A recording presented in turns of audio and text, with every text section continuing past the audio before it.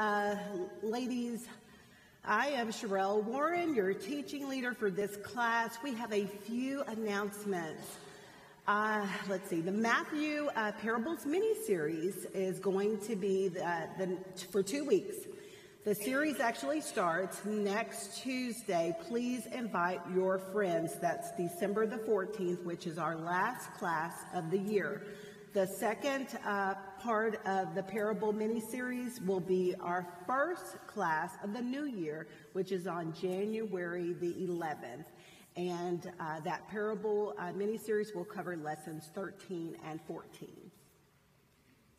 All right, and then uh, the My BSF uh, 2.0 will actually open tomorrow.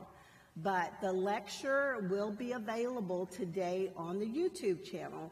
But after tomorrow, you can get the lecture not only on the YouTube channel, but you can continue to get them just like you did before on the uh, BSF, my BSF website. Okay, ladies? And when you log in, just a reminder, your uh, group leader uh, can uh, help you or get help for you, but you want to use the email address that you use to set up your MyBSF account and then your password. And if you don't remember your password, then just click on Forgot Password and it'll send you a verification code in order to uh, set a new password, okay? And then thank you, uh, uh, thank you for considering BSF for your end of year giving. Contributions can be made in uh, class through next Tuesday, the 14th, or online, okay? And it gives you the online link. Okay, and there's the outline, and it'll be there for a few minutes.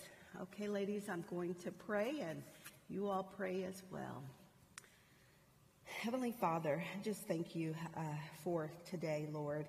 I thank you that uh, we don't have to be perfect, Heavenly Father, because your Son Jesus is perfect. And so, Lord, I thank you uh, that our sins uh, can be forgiven uh, and have been forgiven, Lord. We can trust and believe in your Son, Jesus Christ, who died on the cross for our sins, Lord. Let any of those that have unbelief today, that they would receive clarity, Lord, and the pricking of your of uh, the Holy Spirit, that they would uh, believe in you and come to know you, and they would be certain and they would not waver in their faith with you. Heavenly Father, I thank you for all that you have done and all that you're going to do. In Jesus' name, amen. Amen. All right, ladies. So, how many choices have you made today? For most of us, we made the choice to attend our BSF class. Uh, we made the choice on uh, who we would sit next to today. We made the choice on whether or not we would smile today when we uh, came in and when we sat next to that person. Uh, there are uh, many choices that we make in our life, and we live in a world of choices. But much more important um, than the choices of whether you would smile, who you would sit, sit next to, your hairstyle, or or whatever choices you would make, do you choose to trust Jesus or not? That is the choice that we're talking about today. What I hope we learn today is that the truth about Jesus leads some people to believe in him while others refuse to believe. Open your Bibles to Matthew chapter 11, verse 1. And the Bible is true? Amen. Jesus comforted John the Baptist in verses 1 through 15. Remember, John the Baptist, before his birth, God had chosen him to get the world ready for Jesus. John preached that people should repent and be baptized. But now, this faith filled hero was in prison things had not gone the way John expected. Had he misunderstood God's voice like other prophets before him? John expected the Messiah to save Israel from its enemies and rule in Jerusalem as their king. Jesus was not doing this. Did that mean Jesus was just a prophet and a good man and not the Son of God? Even John struggled with doubt about who Jesus truly is.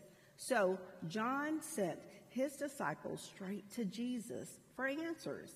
He asked, Are you the one who is to come, or should we expect someone else? Jesus loved John. He told John's followers to tell John about his miracles. The blind saw, the lame walked, the leopards were cleansed, the deaf heard, the dead were raised, and the good news was proclaimed to the poor. These miracles proved that Jesus was indeed the promised Messiah. Jesus turned to the crowd around him and praised John's faith and work. Jesus said that John was the greatest of all prophets. As Lisa said yesterday in leaders meeting, she said he was the goat. All right. As John taught about repentance, he got people ready to believe in Jesus, the only one who can save people from their sins. Jesus welcomes our questions. He will never be offended by them. He will help us overcome our unbelief. All our questions may not be answered immediately, but we can trust his timing. John was not delivered from prison, but Jesus encouraged him and straightened his faith and strengthened his faith. Our questions are an opportunity for us to be rooted in Jesus and cement our faith and not an excuse to slip into unbelief. Jesus condemned unbelievers in verses 16 through 24. We may think if we had seen Jesus perform a miracle, I definitely would have believed in him. But sadly, many people did not. Some of Jesus' listeners were critical to him. Jesus said they were like spoiled children who demanded their own way and then stay unhappy. The same people who complained about John living in the wilderness complained about Jesus' friendship with sinners. They did not think Jesus was God. Jesus condemned these unbelieving people who rejected the truth. Condemnation means being judged by God as being guilty of sin. Some of Jesus' other listeners were indifferent to him. They just didn't care. These people didn't attack Jesus or drive him away. They simply ignored the miracles and his call to repent. Jesus said that the people who had seen his work but did not repent would receive a bigger punishment than wicked cities of the Old Testament. Jesus compares the judge pagan cities with the cities he ministered to. Tyre, I'm, apply, I'm apologizing now, and Sidon, Sodom, and were Gentile cities filled with pagan people who were often condemned by the Old Testament prophets for worship of Baal or Baal, and for their pride in their power and wealth. Sodom is an immoral city of sin. If these cities would have witnessed Jesus' works, they would have repented and responded in belief. Whereas Chorazin, Bethsaida, and Capernaum witnessed many miracles, yet in their pride they did not repent nor put their faith in Jesus.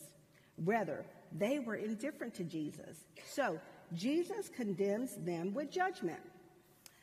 The message of Jesus demands a response. The right response, acknowledging our sins and repenting from our ways and surrendering to God. Our response to Jesus has eternal consequences. If we respond in belief, we enter his kingdom and will live with him forever. If we respond in unbelief, we will forever be full of self in absence of God and eternity in hell. In verses 25 through 27, we see Jesus in prayer to his Father. I'll read to you verses 25 through 30. Rest for the weary. At that time, Jesus said, I praise you, Father, Lord of heaven and earth, because you have hidden these things from the wise and learned and revealed them to little children. Yes, Father, for this was your good pleasure. All things have been committed to me by my Father. No one knows the Son except the Father, and no one knows the Father except the Son, and those to whom the Son chooses to reveal him. Come to me, all you who are weary and burdened, and I will give you rest. Take my yoke upon you and learn from me, for I am gentle and humble in heart and you will find rest for your souls.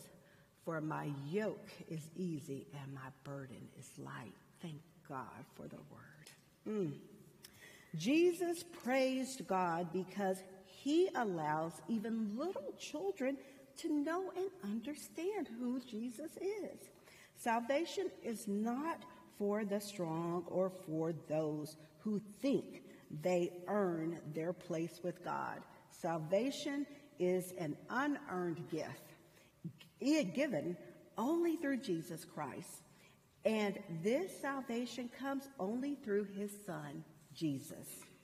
Jesus called the tired in verses 28 through 30. Jesus said, Come to me, all who are weary and burdened, and I will give you rest. He talked about something called a yoke. In his day, when there was a big load to carry, my, my, a man would buy oxen to help with the work. He would put a wooden contraption called a yoke over the necks of two oxen to connect them so they could walk side by side and pull a heavy load together. Jesus tells us to take his yoke. When we connect ourselves to him and learn from him, he takes the weight of our troubles and makes them light for us. Then we can find rest. Our first principle. People who believe in Jesus find refuge, but people who do not believe await judgment. People who believe in Jesus find refuge, but people who do not believe await judgment. There may be times we go through different circumstances which might cause us to question or make us too critical or indifferent to Jesus. Our circumstances may change, our emotions may rise and fall, but the God we serve is faithful he does not change like us. From the beginning, God has had a plan to restore the world that sin broke, and God is faithful to his own plan. One of God's attributes is faithful. We know God is faithful because he sent his son to the cross to keep his promises. And that son, Jesus, calls people to come to him. We can come to him with any questions we have. He will not judge us. Rather, he builds our faith with kindness and patience. Let's learn to repent from our critical attitudes and indifference. If you are struggling to accept the message of Jesus, I urge you to bring your questions and doubts to Jesus. Ask him to help you overcome your unbelief. He calls people who know they need him and people who don't know they need him.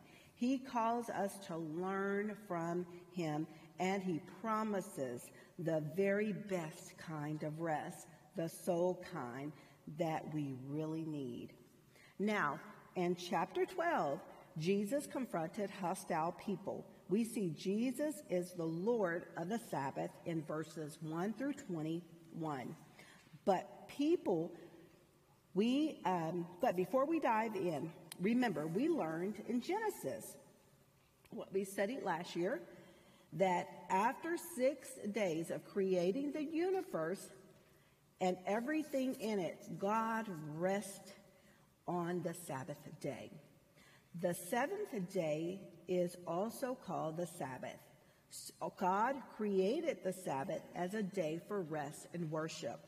One Sabbath day, Jesus and his disciples walked through the grain fields. His disciples were hungry and picked some of the grain to eat. Eating grain picked from someone else's field was allowed under their law. However, the watching Pharisees complained to Jesus that his disciples had broken their Sabbath laws. No one was supposed to work on the Sabbath, and they said picking grain and preparing food was work. Jesus reminded the Pharisees about their greatest king, David. David ate the holy bread of the temple while Saul was chasing him and trying to kill him. Jesus also explained that priests who worked in the temple on the Sabbath did nothing wrong. He said, He is greater than the temple. The Pharisees did not understand that if it was okay to work in the temple on the Sabbath, it was more than okay to work with Jesus' presence on the Sabbath. Before moving on, Jesus declared that he is Lord of the Sabbath. To emphasize this, Jesus healed a man's shriveled hand the very same day. Instead of learning from Jesus' words in the grain fields and being happy about the man's healed hand, the Pharisees decided to kill Jesus. Jesus knew what they were planning, so he left the area. Many people followed him. Jesus healed them and told them not to tell who he was. Next, we see Jesus healing a demon possessed man in verses 22 through 37. Some people brought Jesus a man who was possessed by a demon and could not see or speak.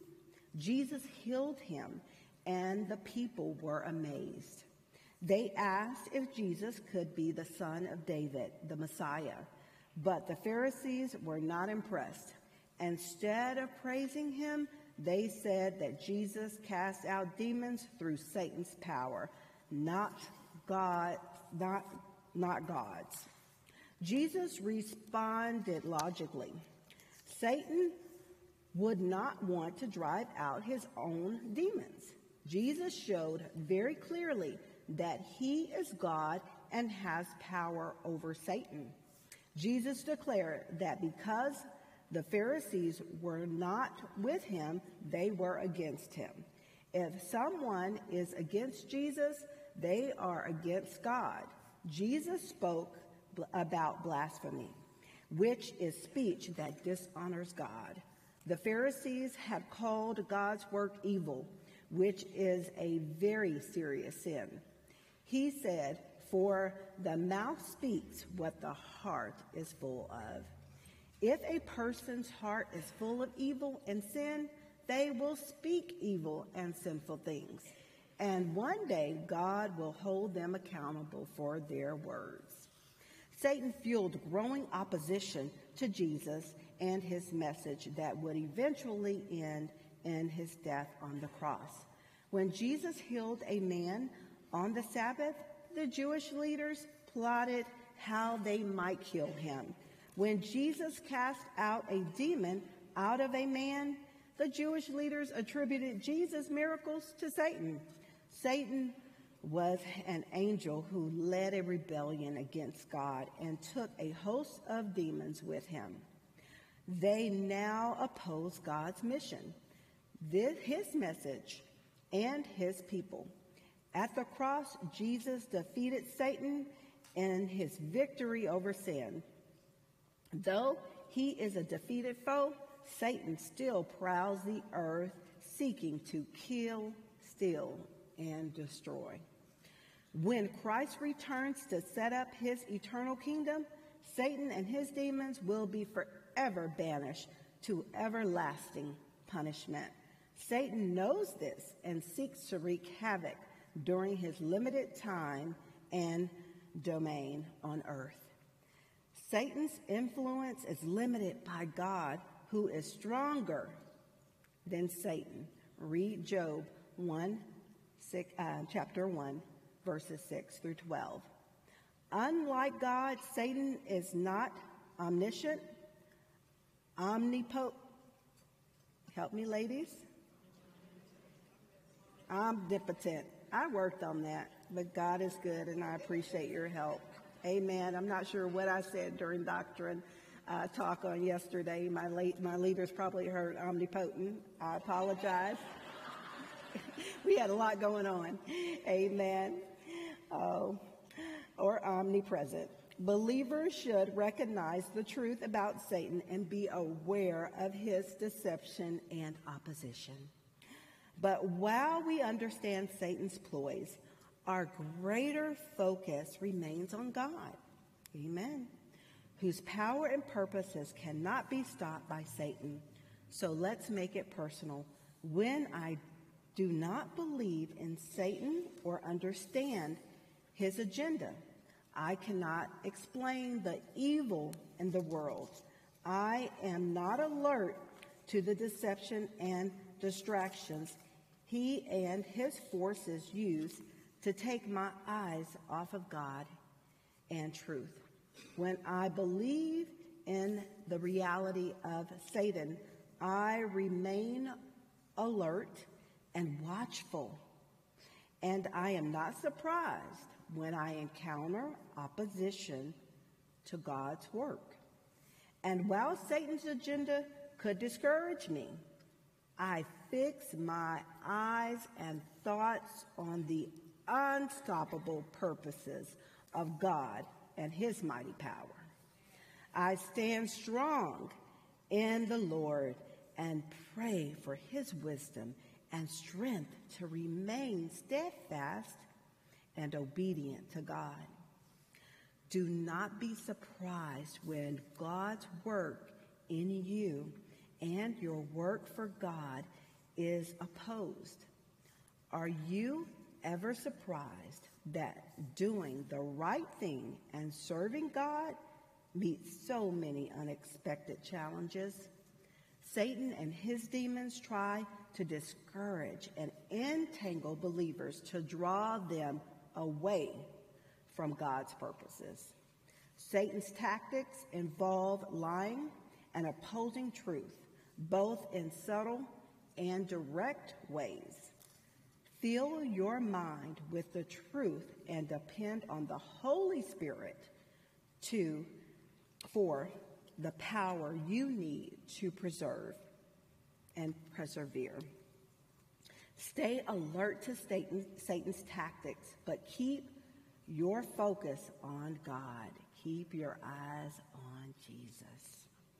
How does thinking about Scripture and studying God's Word help you recognize and overcome Satan's lies.